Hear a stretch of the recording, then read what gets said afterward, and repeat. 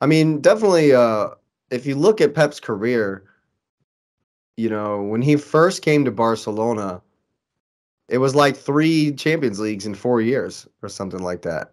Yeah. And and that was a dynastic team. And City are the definite City are the definition of a dynastic team at the moment. And as you say, you know, what's to stop you guys from another season just like this next season?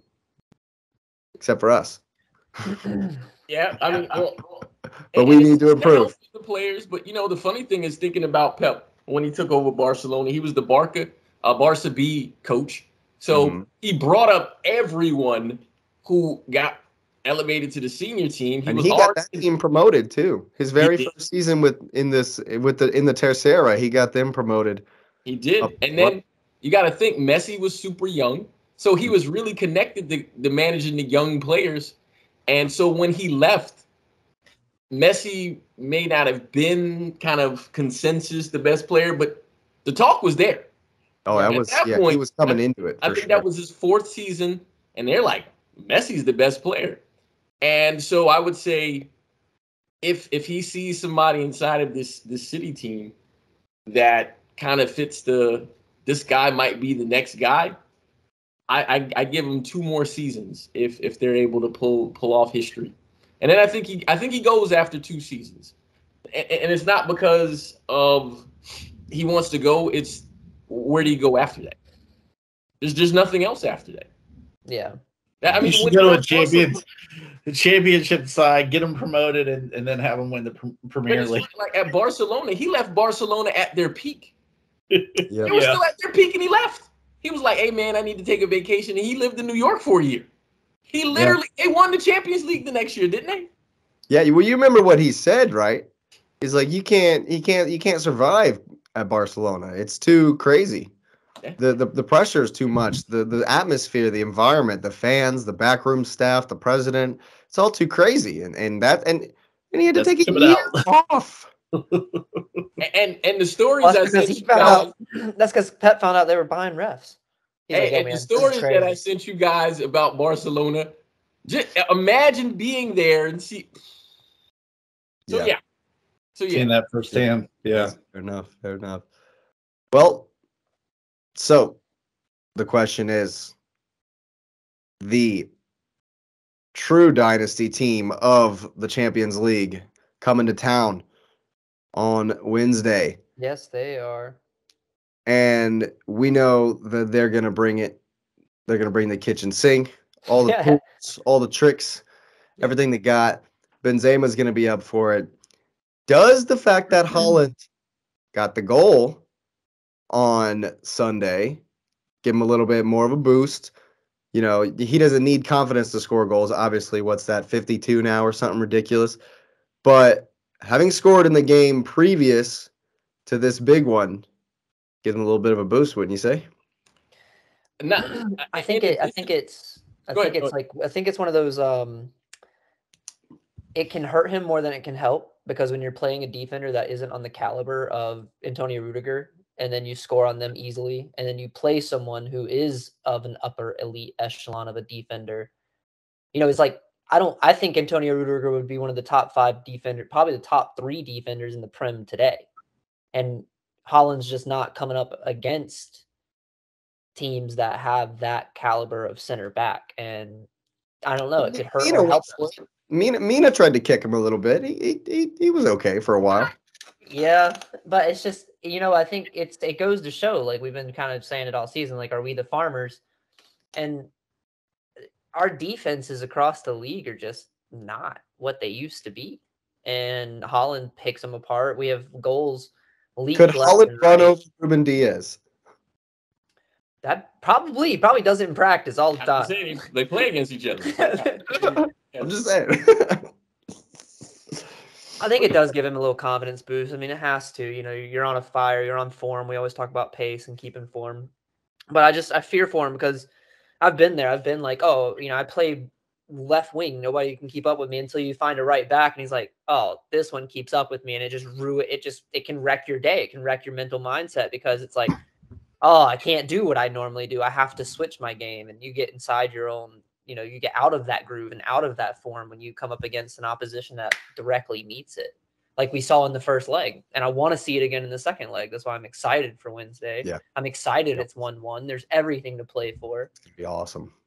Well I, I think one of the things to answer your question does it does it give them a boost?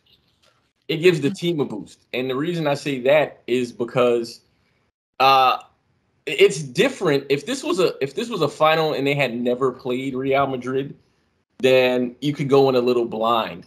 But the fact that he's already played against them and he knows they're going to be at home and he he now he can kind of figure out okay, this is what they did to me last time.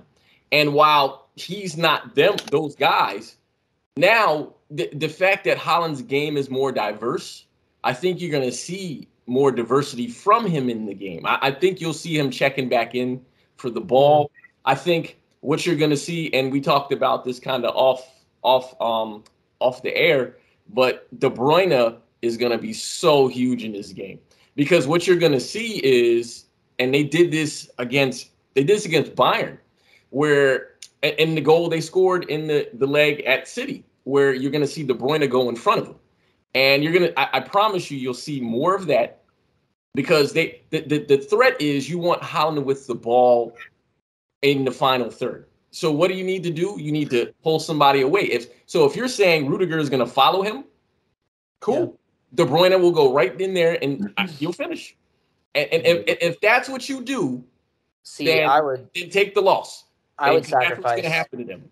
I would and, sacrifice coming coming and make him follow Kevin the whole game and and Gundogan will ghost you and, and, yeah. and his goals. It's showing show up for a goal. Yeah. And, and, so you look at that. I think going back, if you remember before the Real oh, Madrid game, the first one, I said, "Hey man, you know, he didn't want to take that penalty because his shooting boots weren't on. You could see it. Him getting that goal released everything because it wasn't uh I have to do something goal. It was placement, headed, I finished. I finished basically. It wasn't a sitter, but a sitter, right? And that that's all you need. You just need to see the net bulge. If he had missed that penalty, he would have went into that game worse. Going into this game, you have the confidence of I just need to figure out my movement. Mm-hmm. Gundogan is on. De Bruyne didn't play at all, which is perfect because you see that's the formula now. Just give him a week off, let him play. Um, Stones didn't play everybody everybody who needed to get rested got rested, and the ones who needed to just, hey man, I just need to get a bite in. Grealish played, Bernardo came on five minutes, but hey, let me just run around, right? And you got the guys in there who needed to, to run around, and I think it works. Walker, you, you made him run up and down. He needed to stretch his legs. Um, Ake didn't didn't didn't even make the bench, so I, I don't I don't suspect he'll play even if he's healthy, I, I, think he'll make the bench, but I don't think he'll play in the game unless it's really, really something they need him to play for. Does Mahrez get a shout? No. Because Riyad Mahrez, literally every time he's been asked to play, has been has been shows up. He's been fantastic. No, he doesn't. Still Silva. Here, here's why he doesn't play. He he doesn't play the other end of the field. He doesn't defend. And, and, there's no way you play Real Madrid and you and only and, and, the guy doesn't defend. Yeah. There's no way. Any and, of them are gonna punish you. You can watch you watch Mahrez is wonderful. Fair but enough. against teams that you have to defend against, you notice he doesn't play, right? That's fair. He's a great player. There's no question he's a great not a great player. But he doesn't play the other end of the, the, the pitch. So he gives left, left back uh, he gives left backs nightmares, that's for sure. What do you think, Patrick?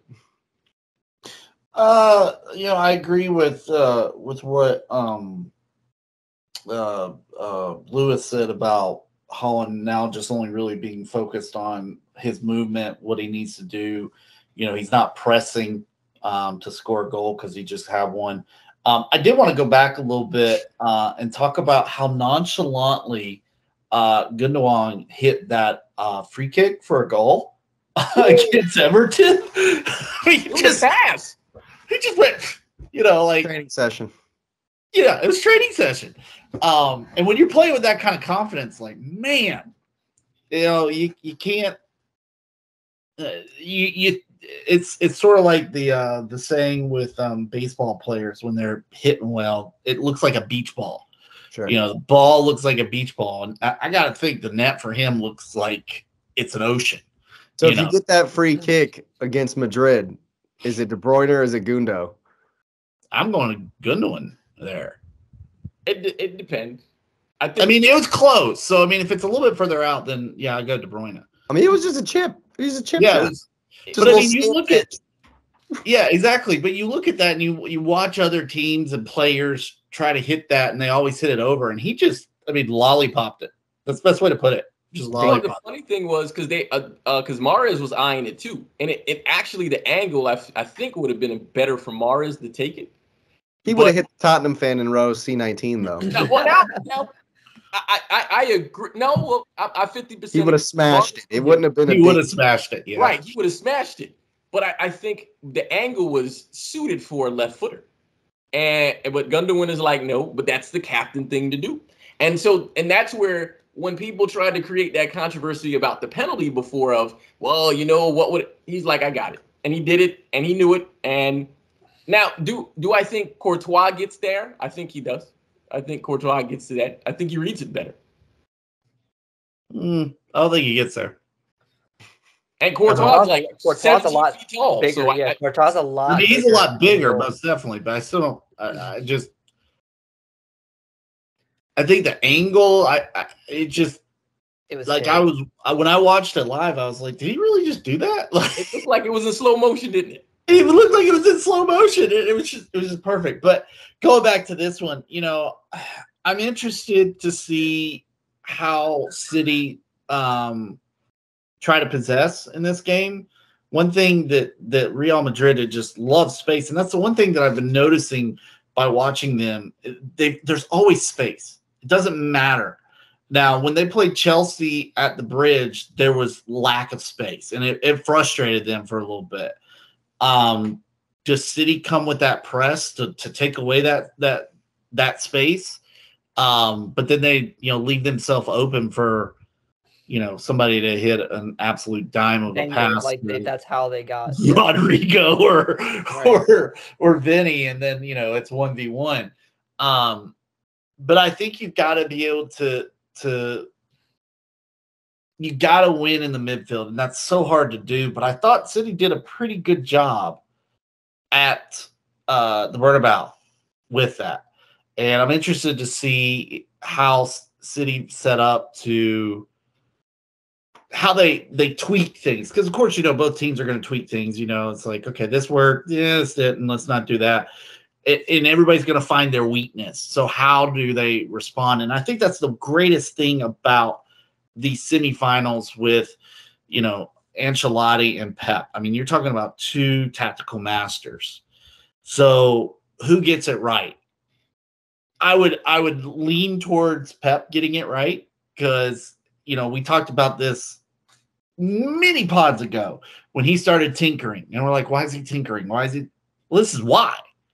He's got all these other ideas like, oh, well, you know, in this case, Ancelotti Ancelotti does this well i'm going to counter like this you know and and i think that that in itself is going to help city win this and, and get to the final i think they win like 2-1 i put money on madrid boy What's your score, X? I know these won't count towards the league to the predictions. No, I, I, have the aggregate going two one. I think Madrid's just going to take one away at the Etihad, oh, and it's going to be it's going to be a grind game. It's going to take Vinny. It's going to take Rodrygo. It's going to take Modric. Someone's hitting a banger. It's a glory goal, but it's going to be it's going to be a battle. I think I see it being a grind. I don't see either one of them breaking away with it. Like I don't see it being three four like it was in no. previous years. I see this being so close, where the one goal really matters, and we saw it at we saw it in Madrid, and you know it's just both goals are wonder goals. Either team could have walked goals. out of there. I think there'll be goals. Benzema I think both. I think both. Benzema won't be as rusty. He looked a little rusty. He looked a little off of it. He won't be off it. Not in not in the do or die situation. I'm gonna say. I'm gonna say. I'm gonna say it might be like a like a three two. It might it might be like a but I can't call a winner. Like I have no idea. Like I money on Madrid, man. It's so close. You're crazy. I did. You're had better odds or had lesser odds, so you win more money. Yeah, you're crazy. Uh, I would not put money on either because as soon as I convince myself that does this go to extra time? The death, the death robots at City are just unstoppable. It's like Benzema Benzema comes up with the kryptonite. So it's like that's what happened. Lot history loves to repeat itself, man. Tough to call. Um, I'm gonna go out on a limb though. Haaland hat trick. Mm. Yo, if they paid all that money and invested all this Haaland hat trick. What he came to do, we're literally gonna see Mjolnir come flying into the stadium and he's gonna grab it and do a fly around. Flying, he's gonna be a flying scissor kick, first goal, straight yeah. from the PK mark. Yep. All seven, all seven fans at the empty hat are gonna lose their mind. Yep, yep, yep. Yep. The, the Will the grass be too tall for Real Madrid? It Ooh. might be. Yeah, we check that field Modric, pattern. Modric are gonna the, the grass will be taller than Modric. So all right, Lewis. Does this go to extra time? Does this go to extra time? Does it go to extra time? Good question. No, what's the score? I think it does. I think City wins two one. Uh, I think they're they're going to be more open at home. I just you, you, can see you've seen in every Champions League leg that they've been open. Hell, when they play anybody at home, they're they're way more open. I think you see substitutes happen in this game. I think they're going to play a lot more free because at the end of the day, and we're going to be absolutely honest, there's nothing to lose. There's literally nothing to lose. Either either you go out in a blaze of glory or you whimper. And there's no way this team that was put together for this moment it, it, doesn't go and try to get goals. So I think it's a 2-1 game. I think it's it's it's they're going to be shots. I think they're going to be I think the keepers are going to be busy. I think the keepers are going to be like you're going to be like wowed by the keepers. Um uh but I think I think this is um Avengers in, in, in uh, Endgame. Nice. We're going for the head. Yeah. And you know, well, we had Fat Thor for a little while. Fat Thor is now normal Thor because he did his training, and now he's ready. And Iron Man, you know, he's back, and he has ginger hair instead of a ginger a uniform. and, and, you know, Captain Gundogan is you know the clean cut guy, and we're we're gonna just do what we need to do, and we just I think two one. Uh, Real Madrid, it, they, they are a Galactico for a reason, and yeah. I, I, all the respect in the world, but I, I, think they they that City goes through to the final. Well, sure. it's sort of like what I said about Arsenal and the and Brighton in the previous segment. You know, that moment where you you have it sting, you know, and it just hurts. You know, City went through that moment last year, and now it's on their stage to finish it off and that's where you see the growth of a team. Like, how do they handle that situation again? If they get it, some teams don't get that situation again. City's going to get it, and they've got they've got the the ace in the hole in, in Haaland that they didn't have last year. This is why I said Endgame instead of Infinity War because Infinity War, Thanos won, year. and that was last year, and, and it was too late. He should have went for the head, and we didn't. We didn't. Yep. We could have beat them. We didn't go for the head. We could have scored more in that first leg. And yep. we, this time we know where to go. Well, chop his head off. If you're out there hoping that Thor can go for the head this time and defeat Thanos and the Galacticos from Madrid, go ahead and get the likes up subscribe to the channel and get that notification bell on our reaction to this will be coming very soon after.